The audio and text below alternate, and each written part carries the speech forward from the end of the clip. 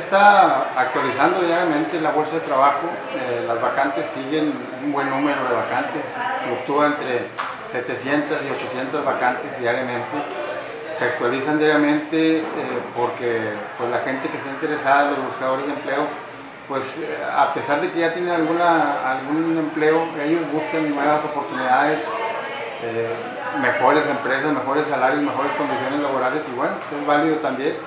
Eh, nosotros estamos aquí recibiendo alrededor de unos 20 personas diarias. Eh, hay días que están más, más flojos que otros, pero sí, sí está permanentemente el, flujo de buscadores de empleo.